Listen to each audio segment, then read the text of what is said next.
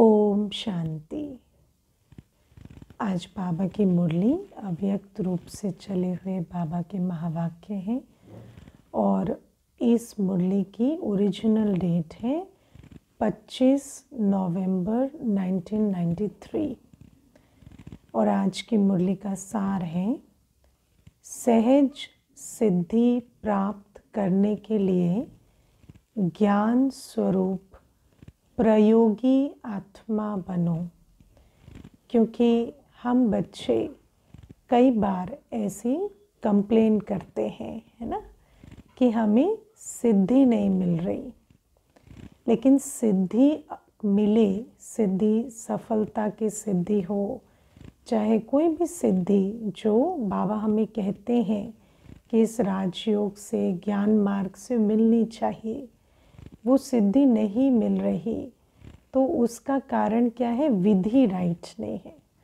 और बाबा कहते सहज सिद्धि प्राप्त करने के लिए विधि क्या है? ज्ञान स्वरूप प्रयोगी आत्मा बनो। एक तो ज्ञान स्वरूप बनो और फिर योगी तो है, पर साथ में प्रयोगी भी बनो। सिर्फ़ ज्ञान सुनने सुनाने वाले नहीं, ज्ञान स्वरूप बनो। प्रैक्टिकल कर्मों में ज्ञान स्वरूप होकर आओ। और दूसरा, सिर्फ़ योग लगाने वाले नहीं, योग के आधार से जो परिवर्तन आना चाहिए, उस परिवर्तन का प्रैक्टिकल एप्लीकेशन जीवन में दिखाई दे। तो आज ज्ञान दाता वरदाता, अपने ज्ञानी तो आत्मा, योगी तो आत्मा बच्चों को देख रहे हैं। बाप ज्ञानदाता, वरदाता है और बाबा का हर बच्चा, ज्ञानी तो आत्मा, योगी तो आत्मा, बच्चा है ही। हर एक बच्चा ज्ञान स्वरूप और योग युक्त कहाँ तक बना है? ज्ञानी और योगी तो हैं। ज्ञान सुनते सुनाते हैं, योग लगाते हैं, लेकिन ज्ञान स्वरूप और योग युक्त कहाँ तक बना है? अब ज्ञान स्वरूप की निशानी क्या है? हर कर्म नॉलेजफुल पावरफुल लवफुल होगा। और योग युक्त की निशानी क्या है? हर कर्म युक्ति युक्त होगा एक्यूरेट होगा। ज्ञान सुनने और सुनाने के निमित्त बने हैं व ज्ञान स्वरूप बने हैं? सुनते सुनाते तो हैं ज्ञान, लेकिन बस वहीं तक है या ज्ञान स्वरूप बने हैं? समय प्रमाण योग लगाने वाले बने हैं। वह सदा योगी जीवन, अर्थात हर कर्म में योग युक्त युक्ति युक्त सदा व स्वतः के योगी बने हैं। समझा? कि समय प्रमाण योग लगाते हैं, कि चार से पाँच बजे तक योगी है, फिर नुमा शाम के समय योगी है या सारे दिन, है ना, सदा योगी जीवन वाले हैं। अब योगी जीवन माना ऐसा नहीं कि फिर जैसे चार से पाँच में बैठ के योग करते हैं, ऐसे सारे दिन हम बैठ के योग कर रहे हैं। योगी जीवन माना कर्म में आते योग युक्त सो युक्ति युक्त है। स्वतः व सदा के योगी बने हैं। माना हर कर्म बाबा की याद में एक्यूरेट करने वाले बने हैं। किसी भी ब्राह्मण आत्मा से कोई भी पूछेंगे कि ज्ञानी और योगी हैं तो क्या कहेंगे? हाँ कहेंगे, है ना? सभी ज्ञानी और योगी हैं ना? सभी हैं। ज्ञान स्वरूप बनना अर्थात हर संकल्प, बोल और कर्म समर्थ होगा। नॉलेजफुल अर्थात पावरफुल जब हम ज्ञान स्वरूप हैं तो हर संकल्प, बोल और कर्म समर्थ होगा। समर्थ का अपोजिट क्या है? व्यर्थ। तो कोई भी कमज़ोरी वश संकल्प, बोल और कर्म व्यर्थ नहीं होता। हर कर्म, संकल्प और बोल समर्थ होता नॉलेजफुल की निशानी। व्यर्थ समाप्त होगा। क्योंकि जहाँ समर्थ है, वहाँ व्यर्थ हो नहीं सकता। समर्थ शब्द जो है, वो बहुत बढ़िया है है ना? क्योंकि इसका इंग्लिश ट्रांसलेशन भी एक्यूरेट नहीं है। समर्थ माना सफल भी, शक्तिशाली भी, है ना? तो बाबा कहते समर्थ होगा, व्यर्थ नहीं होगा। ना वेस्ट होगा, ना कमज़ोर होगा। हर संकल्प बोल और कर्म। पावरफुल भी होगा और सफल भी होगा। जैसे प्रकाश और अंधियारा साथ साथ नहीं होता तो ज्ञान प्रकाश है और व्यर्थ अंधकार है। वर्तमान समय व्यर्थ को समाप्त करने का अटेंशन रखना है। लेकिन जैसे अंधकार को समाप्त करने की कोई और विधि नहीं, बस प्रकाश से ही अंधकार समाप्त होता। ऐसे ही जब समर्थ बनेंगे तभी व्यर्थ खत्म होगा। और समर्थ बनने की विधि क्या? ज्ञान स्वरूप बनना। जब भी संकल्प ले, बोल बोले, कर्म में आए तो चेक करें, मेरा संकल्प, बोल और कर्म ज्ञान सम्मत है, ज्ञान स्वरूप है, तभी व्यर्थ समाप्त होगा। तो बाबा कहते हैं, सबसे मुख्य बात संकल्प रूपी बीज को समर्थ बनाना है। अगर संकल्प रूपी बीज समर्थ है तो वाणी, कर्म, संबंध सहज ही समर्थ हो ही जाता है। लेकिन संकल्प के पीछे तो संस्कार भी है, बुद्धि भी है। तो जब बुद्धि ज्ञान युक्त होगी, संस्कार दिव्य होंगे संस्कार दैवी होंगे, तभी तो हर संकल्प समर्थ होगा। और अगर संकल्प समर्थ है तो नेचुरल है कि बोल, कर्म, संबंध, संपर्क सब समर्थ हो जाता है।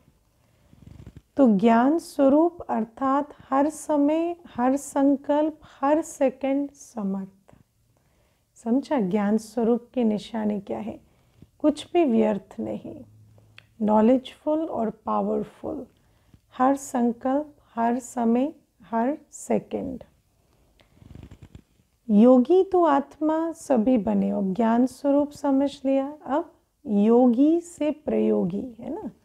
तो योगी तो आत्मा सभी बने हो, लेकिन हर संकल्प स्वतः योग युक्त युक्ति युक्त हो।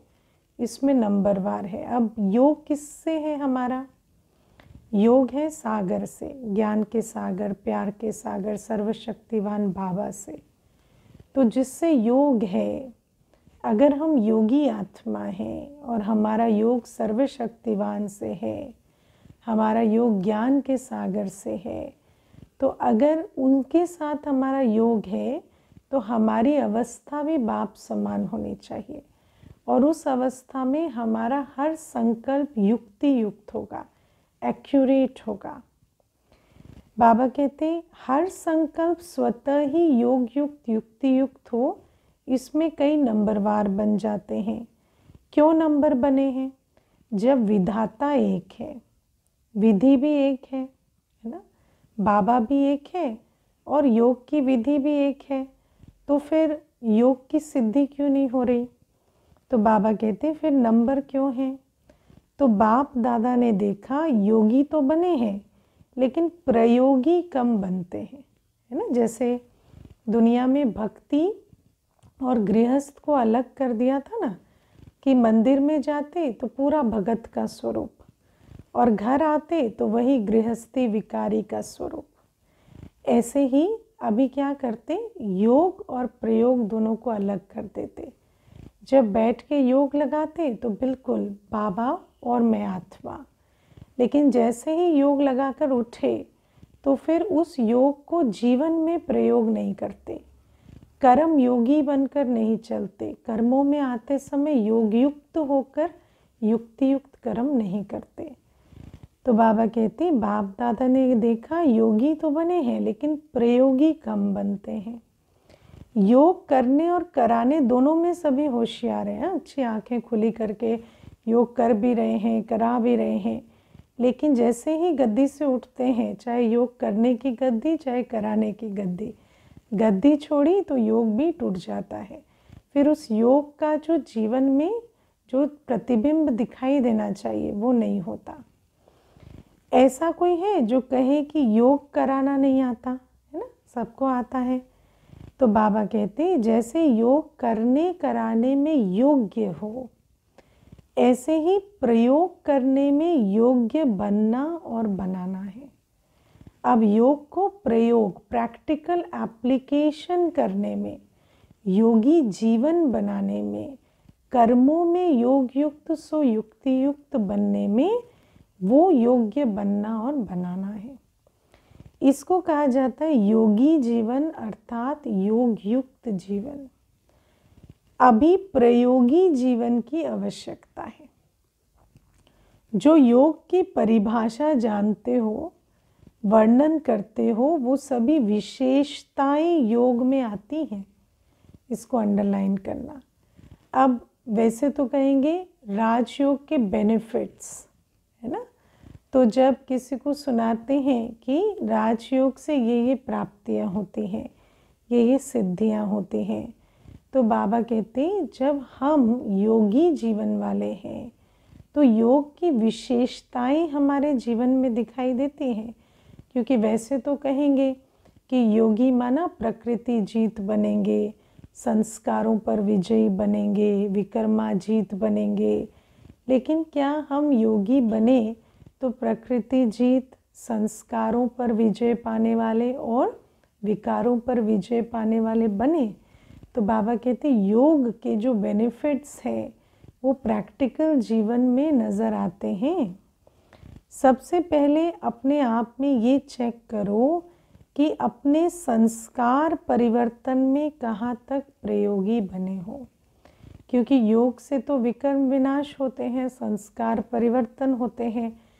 जब हम बाबा से योग लगा रहे हैं, जो गुणों शक्तियों का सागर है तो ऐसे बाबा से योग लगाकर हमारे संस्कार बाप समान बन रहे हैं, या हमारे संस्कार वहीं के वहीं हैं तो हमारे योग का प्रयोग कहाँ हो रहा है? तो बाबा कहते, सबसे पहले अपने आप में ये चेक करो कि अपने संस्कार परिवर्तन में कहाँ तक प्रयोगी बने हो। योग का पहला एप्लीकेशन योगी के संस्कार परिवर्तन होते हैं। हमारा योग जिससे है, उसके संस्कार हमारे संस्कार बनने चाहिए। तो बाबा कहते हैं, क्योंकि आप सबके श्रेष्ठ संस्कार ही, श्रेष्ठ संसार के रचना की नींव है। क्योंकि ये प्रकृति और सर्वात्माएँ, ये संसार हमारा इंतज़ार कर रहा है कि हमारे संस्कारों के परिवर्तन के आधार से संस्कार, संसार परिवर्तन हो। अगर नींव मज़बूत है तो अन्य सभी बातें स्वयं मज़बूत हुई ही पड़ी है। नींव क्या है? हम बच्चों का संस्कार परिवर्तन। तो ये देखो कि संस्कार समय पर कहाँ धोखा तो नहीं देते हैं? जो पुराने संस्कार हैं, ऐसा तो नहीं कि समय पर धोखा दे देते हैं। क्या बाबा के संस्कार सो मेरे संस्कार ऐसे बन गए?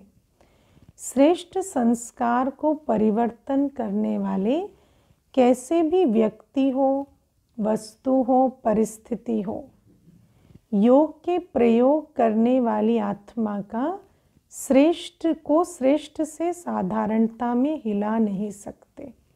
बाबा कहते ये नहीं कि व्यक्ति अनुकूल है, परिस्थिति अनुकूल है तो हमारे संस्कार भी श्रेष्ठ है। लेकिन व्यक्ति, समय, परिस्थिति कैसा भी हो, बाबा कहते ऐसा ना हो वो हमारे श्रेष्ठ संस्कारों को साधारणता में ले आए। क्या हमारे दिव्य संस्कार, श्रेष्ठ संस्कार इतने पक्के हुए? क्योंकि योग का प्रयोग है संस्कार परिवर्तन। ऐसे नहीं कि बात ही ऐसी थी, व्यक्ति ही ऐसा था, वायुमंडल ऐसा था, इसलिए श्रेष्ठ संस्कार को परिवर्तन कर साधारण व व्यर्थ बना दिया। तो फिर सर्वशक्तिवान से हमारा योग क्या है? अगर हम पर परिस्थिति या व्यक्ति या वायुमंडल का प्रभाव पड़ जाता तो इसका मतलब हम इतने पक्के योगी नहीं हैं कि बाबा का प्रभाव अटल अचल हम पर पड़े। तो बाबा कहते कि ऐसा योगी बनना है कि कैसा भी व्यक्ति हो, कैसा भी वायुमंडल हो, कैसी भी परिस्थिति हो, हम पर ऐसा प्रभाव ना डाल सके कि हमारे श्रेष्ठ संस्कार परिवर्तन हो, साधारण या व्यर्थ बन जाए। तो इसको प्रयोगी आत्मा कहेंगे क्या? बाबा कहते अगर समय पर योग की शक्तियों का प्रयोग नहीं हुआ, अब योग तो है, पर योग की शक्ति क्या है कि संस्कार परिवर्तन हो? अगर समय पर वही नहीं हो रहा तो इसको क्या कहा जाएगा? है ना? तो फिर योगी आत्मा है, ये टाइटल ठीक नहीं बैठता।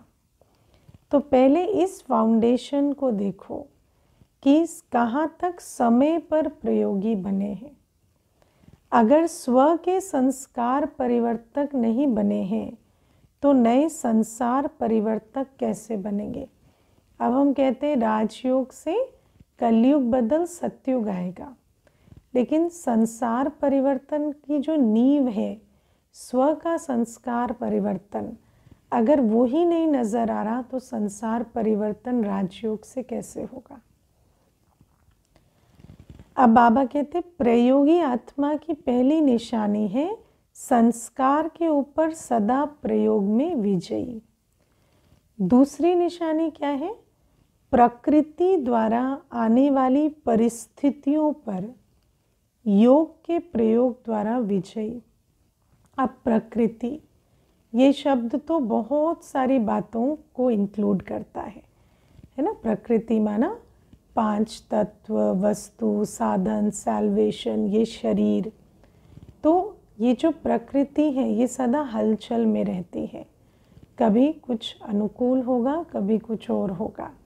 तो बाबा कहते, प्रकृति की हलचल के बीच अचल रहना, ये योग का प्रयोग है। समय प्रति समय प्रकृति की हलचल भी योगी आत्मा को अपने तरफ़ आकर्षित करती है। प्रकृति की हलचल। प्रकृति की हलचल में सब चीज़ें आ जाती हैं। जो वस्तुएँ हम यूज़ करते हैं, जो भी साधन सैल्वेशन अपनाते हैं, ये शरीर है नेचुरल कैलामिटीज़ है, पाँच तत्वों की हलचल है, हर चीज़ प्रकृति। आत्मा, परमात्मा के सिवा सब कुछ प्रकृति ही है। तो बाबा कहते वो प्रकृति में जो परिवर्तन आता है, हलचल होती है, वो योगी आत्मा को आकर्षित कर देती है, माना प्रभावित कर देती है। ऐसे समय पर योग की विधि प्रयोग में आती है। कभी योगी पुरुष को व पुरुषोत्तम आत्मा को प्रकृति प्रभावित तो नहीं करती है। अभी अपने को पूछना है है ना? अभी पीछे एक बात हुई तो कोई कहता, मेरा फ़ोन लॉक हो गया और खुला नहीं तो बहुत टेंशन हो गई कि इसमें डेटा है, फ़ोन नंबर है तो अब क्या है? प्रकृति की हलचल है। लेकिन वो जो प्रकृति की हलचल है, वो कितना प्रभावित कर देती है आत्मा को। अब वो तो साधारण आत्मा के लिए ठीक है, लेकिन क्या योगी आत्मा उस समय योग बल से उस प्रकृति की हलचल में अचल रहने का प्रयोग कर पाती है। तो बाबा कहते क्योंकि ब्राह्मण आत्माएँ पुरुषोत्तम आत्माएँ हो। पुरुषोत्तम आत्मा हम प्रकृति पति हैं। तो प्रकृति की हलचल में प्रभावित होना ये हमें शोभा नहीं देता। प्रकृति पुरुषोत्तम आत्माओं की दासी है। मालिक दासी के प्रभाव में आ जाए। इसको क्या कहेंगे? है ना? ये तो कायदा नहीं है। आजकल पुरुषोत्तम आत्माओं को प्रकृति साधनों और सैल्वेशन के रूप में प्रभावित करती है। आज आत्मा को मुख्य जो चीज़ प्रभावित करती है, वो है साधन और सैल्वेशन जैसे एग्ज़ाम्पल दिया ना फ़ोन का, या पंखा एसी बिजली या आज हम टेक्नोलॉजी यूज़ करते हैं सेवा के लिए या किसी भी और चीज़ के लिए तो ये इंटरनेट लैपटॉप ये सारे साधन सैल्वेशन गाड़ी या आप सोचो ठंडी, गर्मी की बात होती है तो हीटर है कूलर है, ये सारी बातें आज आत्मा को प्रभावित करती हैं। तो बाबा कहते हैं, मुख्य जो साधन सैल्वेशन की बात है, क्योंकि बीमार भी होते हैं तो दवाई खा लेते हैं लेकिन जब साधन सैल्वेशन फेल होते हैं, चाहे थोड़ी देर के लिए ही हो, लेकिन उस समय पर देखना है कि क्या मुझे वो प्रभावित करते हैं। तो बाबा कहते साधन व सैल्वेशन के आधार पर योगी जीवन है। है ना? होना नहीं चाहिए, पर आज ऐसा देखा जाता है कि चाहे योगी जीवन है, चाहे सेवा है, उसका आधार, नज़र ऐसा आता है कि साधन व साल्वेशन है। अगर साधन व साल्वेशन हलचल में आता तो जैसे योगी जीवन से वियोगी जीवन और सेवाधारी जीवन से बिल्कुल सेवा बंद हो जाती। तो ये जो निर्भरता आ गई है, बाबा मुख्य इसकी चेकिंग करने को कह रहे हैं, क्योंकि हमारी जीवन का आधार, हमारी सेवा का आधार, हमारी अवस्था होनी चाहिए। ना कि कोई प्रकृति का साधन और सैल्वेशन लेकिन अगर हमने फाउंडेशन किसी साधन सैल्वेशन को बनाया है तो फाउंडेशन हलचल में आएगा तो फिर अवस तो फिर वो जो याद और सेवा है या जीवन और सेवा है, वो तो ज़रूर प्रभावित होगी। तो देखना है, आधार क्या है। तो बाबा कहते आजकल पुरुषोत्तम आत्माओं को प्रकृति साधनों और साल्वेशन के रूप में प्रभावित करती है। साधन व साल्वेशन के आधार पर योगी जीवन है। साधन व साल्वेशन कम तो योग युक्त भी कम है। है ना? मच्छर काट रहे हैं, सर्दी है, गर्मी है, कुछ और है तो फिर योग में भी कमी नज़र आती है। विंटर आएगा तो फिर योग अमृत वेला मिस होने लगेगा। तो साधन सैल्वेशन के आधार से योग की अवस्था आज नज़र आती है। इसको कहा जाता है प्रभावित होना। योगी व प्रयोगी आत्मा की साधना के आगे साधन स्वतः ही स्वयं आते हैं। लेकिन अगर हम योगी आत्मा हैं तो हमारी साधना साधनों का आधार बन जाती है। साधन साधना का आधार नहीं हो लेकिन साधना साधनों को स्वतः आधार बनाएगी। इसको कहा जाता है प्रयोगी आत्मा। तो प्रयोगी आत्मा भी ऐसा नहीं कि बिना साधनों के कार्य करेगी, लेकिन उसकी साधना की अवस्था साधनों को आकर्षित करके लाएगी। तो चेक करो, संस्कार परिवर्तन विजयी और प्रकृति के प्रभाव के विजयी कहाँ तक बने हैं? दो पॉइंट तो बाबा ने चेकिंग की बताई, प्रयोगी आत्मा की निशानी के रूप से। अब तीसरी निशानी है, विकारों पर विजयी। योगी व प्रयोगी आत्मा के आगे ये पाँच विकार, जो दूसरों के लिए जहरीले सांप है। आत्माओं का तो आज ये हाल है कि वो विकारों पर विजय की कल्पना भी नहीं कर सकते। बुद्धि में भी नहीं आता कि कामजीत जीवन हो, क्योंकि जहरीले सांप की तरह जैसे बिल्कुल वो जहर नस नस तक पहुँचा हुआ है। तो बाबा कहते ऐसे विकारों पर सहज विकार जीत, यह है योग की सिद्धि। तो बाबा कहते योगी व प्रयोगी आत्मा के लिए पाँच विकार जो दूसरों के लिए जहरीले सांप है लेकिन आप योगी प्रयोगी आत्माओं के लिए ये सांप गले की माला बन जाते हैं।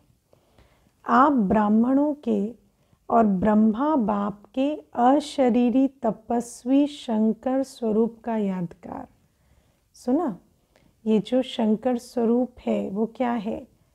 हम बच्चे और ब्रह्मा बाप के अशरीरी तपस्वी स्वरूप का यादगार है।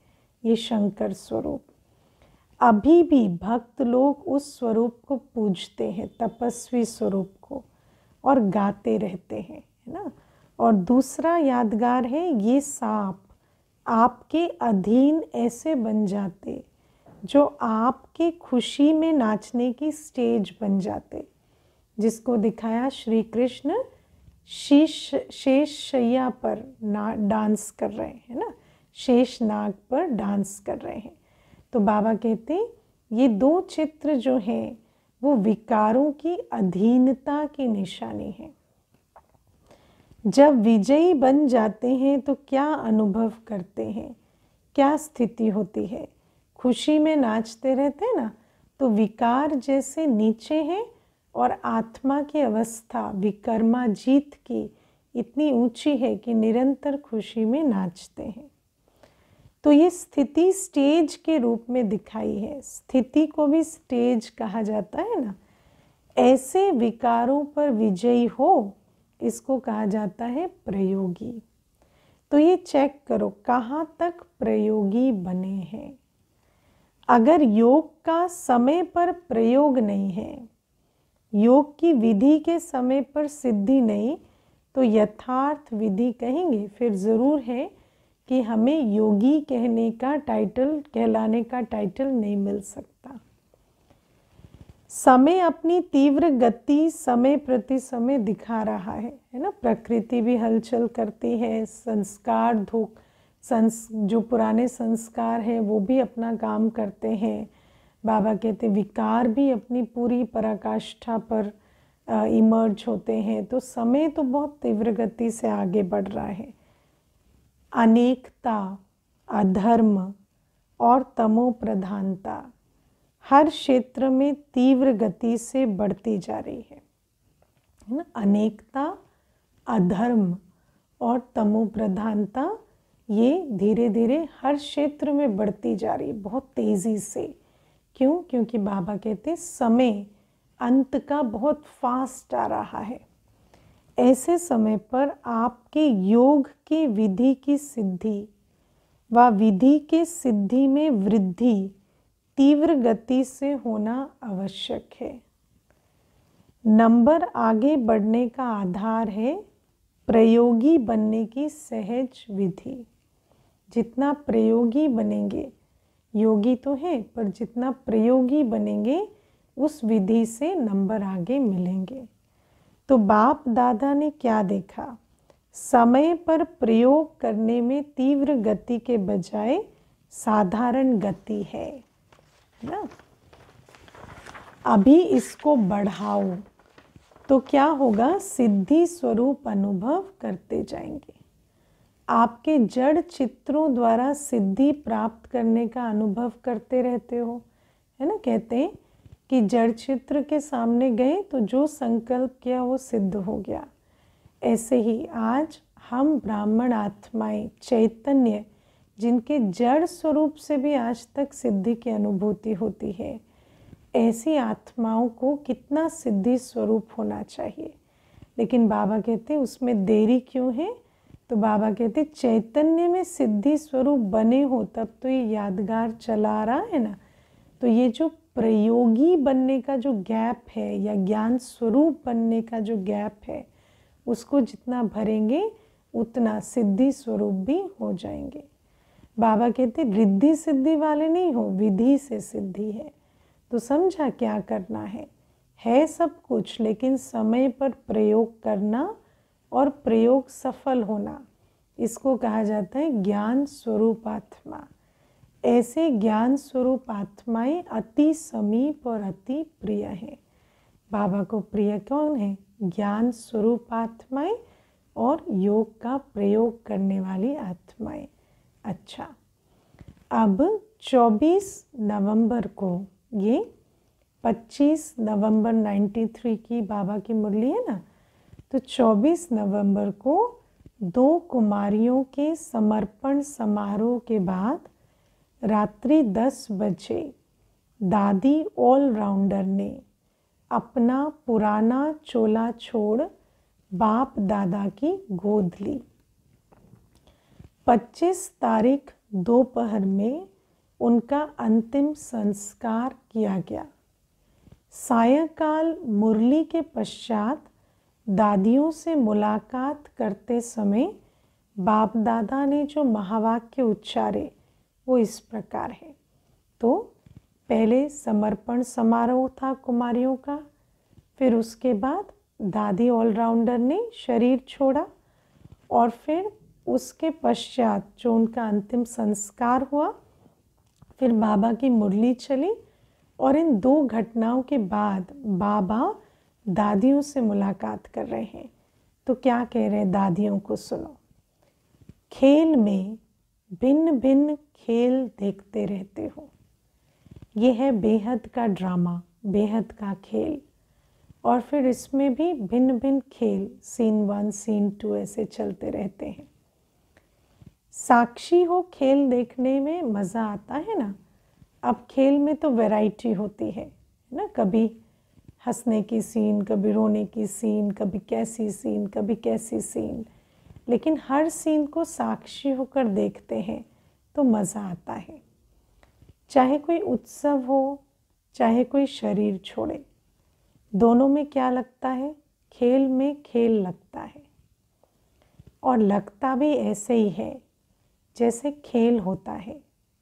और समय प्रमाण स्वतः समय प्रमाण समाप्त हो जाता है। जैसे दुनिया में भी कोई खेल होता है चाहे बहुत हॉरर फ़िल्म हो ट्रेजेडी हो कॉमेडी हो, उसके एक ड्यूरेशन होती है। फिर वो ख़त्म हो जाती है, समाप्त हो जाती है ना फ़िल्म ऐसे ही बाबा कहते हैं, यहाँ भी कितने प्रकार के खेल होते हैं ड्रामा में। एक तो ड्रामा स्वयं एक बड़ा खेल है और इस खेल में जो खेल होते हैं, उसकी भी अवधि होती है। वो खेल भी भिन्न भिन्न प्रकार के होते हैं। और फिर जैसे उसका समय पूरा हो जाता है तो वो खेल भी समाप्त हो जाता है। ऐसे ही जो हुआ, सहज समाप्त हुआ तो खेल ही लगता है। है ना? तो हर एक का पार्ट भी कैसे है? एक खेल की तरह है। फिर वो पार्ट समाप्त होता तो जैसे पर्दा गिर जाता है। हर आत्मा का अपना अपना पाठ है। सर्व आत्माओं की शुभ भावना। अनेक आत्माओं की शुभ भावना प्राप्त होना, ये भी हर आत्मा के भाग्य की सिद्धि है। बाबा कहते, खेल तो सभी खेल रहे हैं और हर एक खेल की अवधि भी है। अवधि पूरी होती तो समाप्त भी हो जाता है। लेकिन भाग्य क्या है? भाग्य ये है कि उस खेल को ऐसा खेलें कि जब पाठ समाप्त हो, तब भी हर आत्मा, जैसे दुनिया में भी कोई एक्टर होता है तो उसका लक्ष्य क्या होता है? कि जब ये एक्ट पूरी हो तो सब कहे वंस मोर तो ऐसे ही बाबा कहते जब यहाँ भी खेल में खेल समाप्त होता है तो उसमें यही सिद्धि है भाग्य की, कि हर आत्मा की शुभ भावना उस आत्मा के प्रति उसने कमाई हो। तो बाबा कहते सर्व आत्माओं की शुभ भावना अनेक आत्माओं की शुभ भावना प्राप्त होना। ये भी हर आत्मा के भाग्य की सिद्धि है। तो उसने खेल कैसे खेला, उस आधार से अंत में जब खेल समाप्त होता तो उसको शुभ भावनाओं की सिद्धि मिलती। तो जो भी हुआ, क्या देखा? खेल देखा व मृत्यु देखा। एक तरफ़ वही अलौकिक स्वयंवर देखा, क्योंकि समर्पण समारोह हुआ। और दूसरे तरफ़ चोला बदलने का खेल देखा। लेकिन दोनों क्या लगे? खेल में खेल, है ना? वो भी खेल, ये भी खेल। वो भी एक सीन ये भी एक सीन और हर एक को साक्षी होकर देखना। और साक्षी होकर देखते हुए एक्टर ने किस प्रकार से खेल खेला, उस प्रकार से उसको दुआएँ मिलती हैं। फ़र्क पड़ता है क्या? स्थिति में फ़र्क पड़ता है? बाबा पूछते हैं। खेलने वाले को तो अच्छा खेलना ही है, पर देखने वाला भी ऐसे देखे कि वो दोनों को खेल की तरह देख सके, स्थिति में फ़र्क ना पड़े। अलौकिक स्वयंवर देखने में और चोला बदलते हुए देखने में फ़र्क पड़ा क्या, बाबा पूछते हैं। या दोनों सीन को वैसे ही साक्षी होकर साथी के साथ मनोरंजन की सीट पर बैठकर देखा। थोड़ी लहर बदली हुई कि नहीं? बाबा पूछते, ज़रा से भी हलचल नहीं हुई या हो गई? साक्षी होकर खेल देखो। तो वो अपने विधि का और वो अपने विधि का। है ना? खेल तो अलग अलग होंगे, लेकिन हमें हर समय साक्षी होकर देखने से दोनों को एक रस अवस्था में, खुशी में देख सकेंगे। सहज नष्टोमोहा होना। ये बहुत काल के योग के विधि की सिद्धि है, पर ये जो साक्षीपन की अवस्था है, ये भी कैसे आती जब नष्टो मोहा हो। और नष्टो मोहा होना ये बहुत काल के योग के विधि की सिद्धि है। इसीलिए जितना योगी होंगे, उतना खेल में खेल देख सकेंगे। तो नष्टो मोहा सहज मृत्यु का खेल देखा। इस खेल का क्या रहस्य देखा? देह के स्मृति से भी उपराम। चाहे व्याधि द्वारा, चाहे विधि द्वारा। और कोई भी आकर्षण अंत समय आकर्षित नहीं करे। तो बाबा कहते, देह की स्मृति से भी ऐसे उपराम रहो कि जब देह छूटे तो भी दिखाई दे कि आत्मा ने शरीर छोड़ा, आत्मा बाप दादा की गोद में समाई। इसको कहा जाता है सहज चोला बदली करना। तो क्या करना है? नष्टो मोहा। सेंटर भी याद नहीं आए, है ना? दूसरे के खेल को भी साक्षी होकर देखें और अपना भी जब खेल समाप्त हो तो कोई भी याद ना आए। इतनी योग की विधि की सिद्धि प्राप्त हो। टीचर्स को देखते हुए बाबा कहते हैं, ऐसे नहीं कोई जिज्ञासु याद आ जाए, कोई सेंटर की वस्तु याद आ जाए, कुछ किनारे किया हुआ याद आ जाए। नहीं। सबसे न्यारे और बाप के प्यारे, ऐसी हमारी अवस्था होनी चाहिए। पहले से किनारे छूटे हुए हों। कोई किनारे को सहारा नहीं बनाना है। बाकी सब किनारे हैं। सहारा एक बाबा है। है ना? सब किनारे हैं ना? या बुद्धि में चिपके हुए हैं। बुद्धि से किनारा करके रखना है सबसे। एक सहारा बाबा का। सिवाय मंजिल के और कोई लगाव नहीं हो। अच्छा। अब निर्मल शांता दादी से बाबा मुलाकात कर रहे हैं। बाबा कहते, संगठन अच्छा लगता है? संगठन की विशेष शोभा हो। दादियाँ तो शोभा है। संगठन में कितना भी बड़ा संगठन हो, दादियाँ तो रतन है जो संगठन को शोभा देते। सबकी नज़र कितने प्यार से आप सबके तरफ़ जाती है। जब तक जितनी सेवा है, उतनी सेवा शरीर द्वारा होनी ही है। कैसे भी करके शरीर चलता ही रहेगा, है ना? ड्रामा में जिसका जो पार्ट है तो बाबा कहते, शरीर चलेगा और उस द्वारा उतनी सेवा होगी। शरीर को चलाने का ढंग आ गया है ना? अच्छा चल रहा है। क्योंकि बाप की और सबकी दुआएँ हैं। बाबा ने उस दिन भी कहा था, सदा स्वस्थ रहने का मंत्र है आत्मिक शक्ति। और आत्मिक शक्ति बाबा की दुआओं से, सर्व की दुआओं से बढ़ती है। तो उससे शरीर भी चलता है। खुश रहना है और खुशी बांटनी है। और क्या काम है? सब देख देख कितने खुश होते हैं और खुशी बांट रहे हैं ना? खा भी रहे हैं, बांट भी रहे हैं। जो बांट रहे हैं, वो स्वयं को तो पहले मिलता ही है। आप सब एक एक दर्शनीय मूर्त हो। सबकी नज़र निमित आत्माओं की तरफ़ जाती है। तो दर्शनीय मूर्त हो गए ना? है ना? मम्मा तो हमेशा कहती थी, हम जैसे स्टेज पर हैं, कहीं भी हैं, हर आत्मा हमें देख रही है। हमें कॉपी कर रही है, सीख रही है तो ऐसे अपने को जिम्मेवार समझ के चलना है। अच्छा अव्यक्त बाप दादा की पर्सनल मुलाकात है। दो पॉइंट से ध्यान से सुनेंगे। पहली पॉइंट ब्राह्मण जीवन का आधार, याद और सेवा।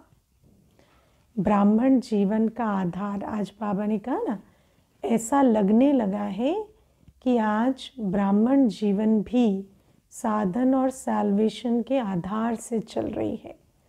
तो लेकिन ब्राह्मण जीवन का आधार क्या होना चाहिए? याद और सेवा। ब्राह्मण जीवन के हर कर्म, चाहे प्राप्ति है, चाहे डिसिप्लिन है, चाहे पुरुषार्थ है, कुछ भी है, उसका आधार क्या है? याद और सेवा। ड्रामा अनुसार ब्राह्मण जीवन में सभी को सेवा का चांस मिला हुआ है। मिला हुआ है ना? चाहे किसी को वाचा सेवा का चांस भी नहीं, ऐसा भी कौन है जिसको वाचा सेवा का चांस नहीं? क्योंकि किसी न किसी को ज्ञान तो सुना ही सकते हैं। तो मनसा हो, वाचा हो, कर्मणा हो, हर ब्राह्मण को सेवा का चांस ज़रूर मिला है। क्योंकि ब्राह्मण जीवन का आधार ही है याद और सेवा। अगर याद और सेवा कमज़ोर है तो जैसे शरीर का आधार कमज़ोर हो जाता है तो शरीर दवाइयों के धक्के से चलता है ना? जैसे गाड़ी को धक्का लगाते हैं ऐसे, शरीर को दवाई का धक्का चाहिए होता है, अगर शरीर में ताकत नहीं। ऐसे ही ब्राह्मण जीवन में अगर याद और सेवा का आधार मज़बूत नहीं है, कमज़ोर है तो वो ब्राह्मण जीवन भी कभी तेज़ चलेगी, कभी ढीला चलेगी, धक्के से चलेगी। है ना? फिर जैसे आज बाबा ने साधन साल्वेशन का धक्का बताया। ऐसे धक्का लगेगा, कोई व्यक्ति मिल गया, कोई साधन मिल गया, कोई प्राप्ति हो गई तो धक्के से चल जाएगी, लेकिन नहीं तो ढीली हो जाएगी। कोई सहयोग मिले, कोई साथ मिले कोई सरकमस्टेंस मिले तो चलेंगे, नहीं तो ढीले हो जाएँगे। इसलिए याद और सेवा का विशेष आधार सदा शक्ति चाहिए, शक्तिशाली चाहिए।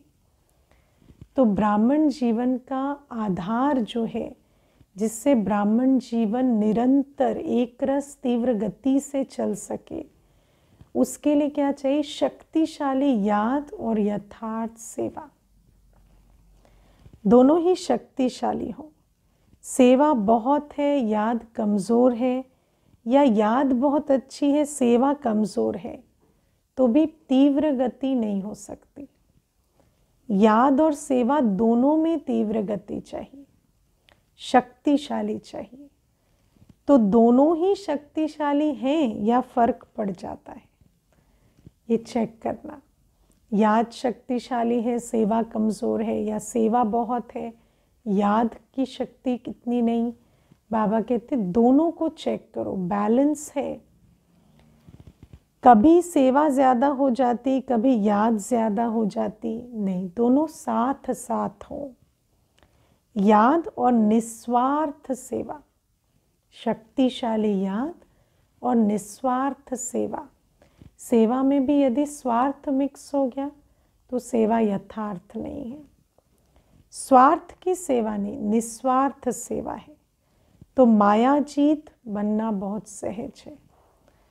हर कर्म में कर्म की समाप्ति के पहले सदा विजय दिखाई देगी। बाबा कहते कर्म के आदि मध्य अंत तीनों में विजयी अवस्था में रहेंगे। इतना अटल निश्चय का अनुभव होगा कि विजय तो हुई पड़ी है। विजय होने पर नहीं मनाएँगे खुशी, लेकिन सदा विजयी का नशा बुद्धि में रहेगा। अगर ब्राह्मण आत्माओं की विजय नहीं होगी तो किसकी होगी, है ना?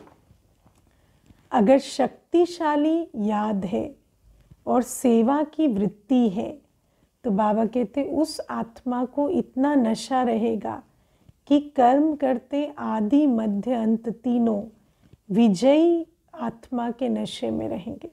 ऐसा नहीं होगा कि विजय हुई तब नशा चढ़ेगा या पहले लगेगा होगी या नहीं होगी। नहीं, सब कुछ करते सदा विजय की खुशी और नशे में रहेंगे। तो बाबा कहते अगर ब्राह्मण आत्माओं की विजय नहीं होगी तो किसकी होगी? क्षत्रियों की होगी क्या? ब्राह्मणों की विजय है ना? क्वेश्चन मार्क नहीं रहेगा। कर तो रहे चल तो रहे देख लेंगे, हो जाएगा, होना तो चाहिए। तो ये शब्द नहीं आएँगे। पता नहीं क्या होगा होगा या नहीं होगा। ये निश्चय के बोल हैं क्या? निश्चय, बुद्धि, विजयी, ये गायन है ना? तो जब प्रैक्टिकल हुआ है, तब तो गायन है ना? तो निश्चय बुद्धि विजयी, ये ब्राह्मण आत्माओं की निशानी है। सदा निश्चय होगा कि विजय हमारा जन्म सिद्ध अधिकार है। लेकिन वो जो नशा, खुशी कब होगी? जब हमारा फाउंडेशन अल्पकाल की सफलता या, है ना? अल्पकाल की विजय नहीं, हमारा फाउंडेशन शक्तिशाली याद और सेवा है। निश्चय बुद्धि की निशानी है, विजय निश्चित है। जैसे किसी भी प्रकार की किसको शक्ति होती है, चाहे धन की हो, बुद्धि की हो, संबंध संपर्क की हो तो उसको निश्चय रहता है ना कि क्या बड़ी बात है। ये तो कोई बात ही नहीं है ना, किसी के पास धन है, कोई लोन लेने आ जाए, कोई लोन मांगने आ जाए कि आपने ये लिया था तो फट वापस कर देगा कि क्या बड़ी बात है है ना। लेकिन बाबा कहते ऐसे ही कोई भी कर्म बंधन आए या कोई भी सेवा की अपॉर्चुनिटी आए, या कोई भी ब्राह्मण जीवन के पुरुषार्थ की बात है, किसी में भी आत्मा को सेल्फ डाउट नहीं होगा। कभी ऐसा नहीं लगेगा कि होगा या नहीं होगा, चाहे बात स्व पुरुषार्थ की हो, चाहे सेवा की हो। सदा लगेगा निश्चय कि विजय हुई ही पड़ी है। तो वो जो अवस्था है, वो कैसे बनती? जब बाबा कहते, आत्मा के अंदर सर्व शक्तियों की धारणा होती दुनिया में तो हद की शक्ति के नशे में भी व्यक्ति को लगता है कि क्या बड़ी बात है, हुई पड़ी है विजय। आपके पास तो सब शक्तियाँ हैं, धन की शक्ति है कि धन की शक्ति करोड़पतियों के पास है। सबसे बड़ा धन है अविनाशी धन, जो सदा साथ है। तो धन की शक्ति भी है, बुद्धि की शक्ति भी है है ना? और पोजीशन की शक्ति भी है। सबसे श्रेष्ठ पोजीशन चाहे ब्रिकुटी सिंहासन की, चाहे बाबा के दिल तख्त की, चाहे स्वराज अधिकारी की, चाहे विश्वराज अधिकारी की, सबसे श्रेष्ठ पोजीशन पर हम बैठे सबसे बड़ा धन अविनाशी, ज्ञान धन हमारे पास। सबसे बड़ी बुद्धि की शक्ति हमारे पास। दुनिया में तो स्थूल पढ़ाई लिखाई की शक्ति पर इतना उनको कॉन्फिडेंस होता। और हमारे पास तो परमात्म बुद्धि की, है ना? बुद्धिवानों की बुद्धि के द्वारा जो दिव्य बुद्धि मिली है, उसकी ताकत है। हम तो आदि मध्य अंत परख सकते, निर्णय कर सकते, त्रिकालदर्शी त्रिनेत्री होकर निर्णय करते हैं। तो बाबा कहते, ऐसी आत्मा की विजय नहीं होगी तो किसकी होगी? तो बाबा कहते, जो भी शक्तियाँ गाई हुई है, सब शक्तियाँ आप में हैं। है या कभी प्रायलोप हो जाती हैं। इन्हें इमर्ज रूप में अनुभव करो। सदा याद रखो, मैं कौन हूँ? मेरा साथी कौन है? और ऐसी आत्मा को निश्चय के आधार से सदा विजयी अनुभव होगा। ऐसे नहीं हाँ हूँ तो सर्वशक्तिमान का बच्चा लेकिन अनुभव नहीं होता। तो सभी भरपूर हो कि थोड़ा थोड़ा खाली हो? समय पर विधि द्वारा सिद्धि प्राप्त हो, है ना? विधि क्या है? निश्चय बुद्धि विजयंती। तो विजय तब होगी जब निश्चय होगा कि मैं कौन हूँ और मेरा साथी कौन है। ऐसे नहीं, समय पर हो नहीं और वैसे नशा हो कि बहुत शक्तियाँ हैं। कभी अपने शक्तियों को भूलना नहीं यूज़ करते जाओ। लेकिन यूज़ तो तब करेंगे जब पहले याद रहे। और याद करेंगे तब तो याद रहेंगी। अगर सारे दिन शक्तियों को याद ही नहीं करते, सर्वशक्तिवान बाप के का हाथ अपने सर पर अनुभव ही नहीं करते तो समय पर कैसे याद आएगा? अगर स्व प्रति कार्य में लगाना आता है तो दूसरे के कार्य में भी लगा सकते हैं। पांडवों में शक्ति आ गई या कभी क्रोध आता है? थोड़ा थोड़ा क्रोध आता है, बाबा पूछते हैं। कोई क्रोध करे तो क्रोध आता है, कोई इंसल्ट करे तो क्रोध आता है। ये तो ऐसे हुआ, जैसे दुश्मन आता है तो हार होती है। हाँ माना जीत के लिए दुश्मन आई ही ना, ऐसा तो नहीं होगा ना?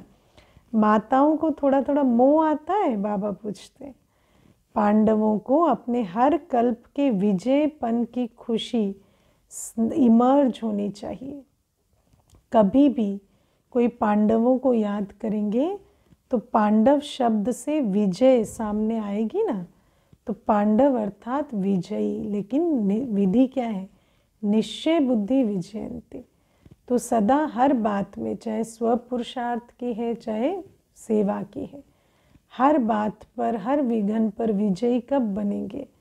हर बात में अवस्था भी अच्छी हो और कमाई भी निरंतर हो, वो कैसे निश्चित करें? जब निश्चय हो पक्का। तो बाबा कहते निश्चय को नहीं हिलाना। मैं कौन? मैं किसकी संतान हूँ? बाबा कहते पांडवों की कहानी का रहस्य ही क्या है? विजय है ना तो हर कल्प के विजयी। इमर्ज रूप में नशा रहे मर्ज नहीं। अच्छा। दूसरी पॉइंट है सर्व द्वारा मान प्राप्त करने के लिए निर्माण बनो। तो बाबा कहते सभी अपने को सदा कोटों में कोई और कोई में भी कोई श्रेष्ठ आत्मा अनुभव करते हो। हम्म, करते हो है तो लेकिन अनुभव करते हो? क्योंकि भाग्य तो हमारा बहुत ऊँचा है, लेकिन उस भाग्य की स्मृति में रहने का भाग्य है या नहीं, वो चेक करना है। कि कोटो में कोई जो गाया हुआ है, वो और कोई है या आप ही हो? तो कितना एक एक आत्मा का महत्व है, अर्थात हर आत्मा महान है। एक एक ब्राह्मण आत्मा कोटो में कोई और कोई में भी कोई है। तो जो जितना महान होता है महानता की निशानी है, जितना महान उतना निर्माण, क्योंकि सदा भरपूर आत्मा है। जैसे वृक्ष के लिए कहते हैं ना, जितना भरपूर होगा, उतना झुका हुआ होगा, और निर्माणता ही सेवा करती है। तो बाबा कहते महानता को देख नहीं सकते, लेकिन महानता की निशानी निर्माणता नज़र आती है। उसी निर्माणता को देखकर आत्मा जानती है कि हमें इनके जैसा बनना है। निर्माणता से सेवा होती है। बाबा कहती तो एक जैसे वृक्ष का झुकना सेवा करता है, अगर झुका हुआ नहीं होगा तो सेवा नहीं करेगा, झुका हुआ नहीं होगा तो फल लेंगे ही कैसे कोई, है ना? तो एक तरफ़ महानता है और दूसरे तरफ़ निर्माणता है। तो महानता की स्मृति में रहेंगे तो निर्माण रहेंगे। है तो बहुत महान, बाबा ने सब कुछ दिया है। लेकिन जब स्मृति में नहीं रहते अपने खजानों के तो मंगता बन जाते हैं, है ना? वस्तु के भी और मान के भी। तो बाबा कहते हैं, लेकिन जब अपनी महानता की, भरपूरता की स्मृति में रहते तो निर्माण होकर रहते। और निर्माण होते तो दाता स्वरूप रहते, हम झुके हुए रहते। और ऐसी झुकी हुई निर्माण आत्माओं से हर एक को प्राप्ति होती। तो बाबा कहते जो निर्माण होता है, वो सर्व द्वारा मान पाता है। स्वयं निर्माण बनेंगे तो दूसरे मान देंगे। है ना? Respect can not be demanded it can be commanded मान मांगने से नहीं मिलता। मान निर्माण रहेंगे, मान देंगे तो मान मिलेगा। जो अभिमान में रहता, उसको कोई मान नहीं देते। अभिमान माना, अभी मेरी मान है ना? अभिमान है ना? तो वो भी कहता है, अभी नहीं मानूँगा। तो वो भी मान नहीं देता। दूसरे दूर भागेंगे उससे। तो महान और निर्माण है या नहीं है? उसकी निशानी है कि निर्माण सबको सुख देगा। जहाँ भी जाएगा, जो भी करेगा, वो सुखदायी होगा। और महानता, निर्माणता की भी निशानी क्या? दाता बन के रहेंगे। सुख देने की वृत्ति होगी, मंगता की वृत्ति नहीं होगी। इससे चेक करो कि कितने महान हैं। जो भी संबंध संपर्क में आए, सुख की अनुभूति करे। ऐसे हैं या कभी दुख भी मिल जाता है ना? अब सुख देने पे भी अटेंशन और सुख लेने पे भी अटेंशन किसी से दुख ले भी ना, इतने भरपूर हों सुख के सागर से कि किसी का दिया हुआ दुख ले भी ना। निर्माणता कम है तो सुख भी सदा नहीं दे सकेंगे। तो सदा सुख देते, सुख लेते या कभी दुख देते, दुख लेते हैं? चलो देते नहीं, लेकिन ले भी लेते हो क्या? बाबा पूछते। थोड़ा फील होता है तो ले लिया ना। थोड़ा भी फीलिंग में आए माना दुख ले लिया। अगर कोई भी बात किसी की फील हो जाती है तो इसको कहेंगे दुख लेना। लेकिन कोई दे और आप नहीं लो, ये तो आपके ऊपर है ना। देने पर हमारा ज़ोर नहीं, पर लेने पर तो है। वो दे, जो भी कुछ दे, उसके पास जो है वो दे, पर हम ना ले। जिसके पास होगा ही दुख, वो क्या देगा? दुख ही देगा ना। लेकिन आपका काम है सुख लेना और सुख देना।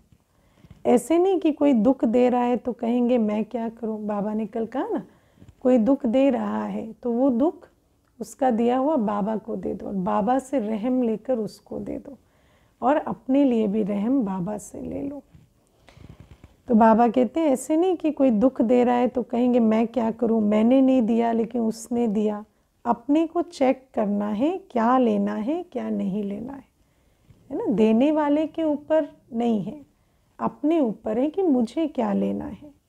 लेने में भी भी होशियारी चाहिए ना, इसलिए ब्राह्मण आत्माओं का गायन है, सुख के सागर के बच्चे, सुख स्वरूप और सुख देवा। तो सुख स्वरूप, सुख देवा आत्माएँ हो। दुख की दुनिया छोड़ दी, किनारा कर लिया। या भी एक एक पाँव दुख धाम में है। एक पाँव संगम पर है। बीच में तो नहीं है, दो नाव पे सवार डूब जाता है है ना?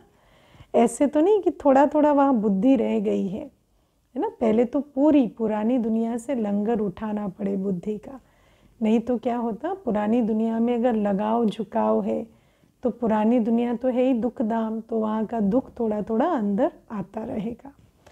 पाव नहीं है, लेकिन थोड़ी उंगली तो नहीं रह गई है हाँ? जब दुख धाम को छोड़ चले तो ना दुख लेना है, ना दुख देना है। अच्छा। सदा योग की विधि द्वारा श्रेष्ठ सिद्धि को अनुभव करने वाले सदा साधारण संस्कार को श्रेष्ठ संस्कार में परिवर्तन करने वाले। संस्कार परिवर्तक आत्माओं को सदा प्रकृति जीत विकारों पर जीत प्राप्त करने वाले विजयी आत्माओं को सदा प्रयोग के गति को तीव्र अनुभव करने वाले ज्ञान स्वरूप योग युक्त योगी आत्माओं को। बाप दादा का याद, प्यार और नमस्ते। ऐसे मीठे प्यारे बाबा को भी हम बच्चों का याद प्यार गुड मॉर्निंग और नमस्ते, ओम शांति। वरदान है आज का उड़ती कला द्वारा। बाप समान ऑलराउंड पार्ट बजाने वाले चक्रवर्ती भव। तो बाबा कहते, जैसे बाप ऑलराउंड पार्टधारी है, सखा भी बन जाते तो बाप भी बन जाते। ऐसे उड़ती कला वाले जिस समय, जिस सेवा की आवश्यकता होगी, उसमें संपन्न पाठ बजा सकेंगे। है ना? ऐसा नहीं हम ये कर सकते, ये नहीं कर सकते। नहीं। जैसे बाबा ऑलराउंडर है, ऐसे ऑलराउंड पार्ट बजाने वाले, उड़ती कला वाले जिस समय, जिस सेवा की आवश्यकता है, वो सेवा कर सकेंगे। इसको ही कहा जाता है ऑलराउंड उड़ता पंछी। उड़ने के लिए बहुत फ्लेक्सिबल होना पड़ता ना? तो फ्लेक्सिबल होना है। वे ऐसे निर्बंधन होंगे जो जहाँ भी सेवा होगी वहाँ पहुँच जाएँगे। हर प्रकार की सेवा में सफलता मूर्त बनेंगे। क्योंकि जो सेवा देगा वो शक्ति भी देगा। हमें बस समर्पण बुद्धि होके चलना है। अगर हमारे अंदर बुद्धि का बंधन है कि मैं ये कर सकता हूँ, ये नहीं कर सकता तो फिर वो बंधन बेड़ी बन जाता। लेकिन अगर निर्बंधन है कि हम बाबा के हैं, बाबा जो कराएगा, हम क्यों नहीं कर सकते?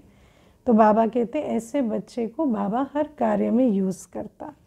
उन्हें ही कहा जाता है, चक्रवर्ती ऑलराउंड पाठधारी।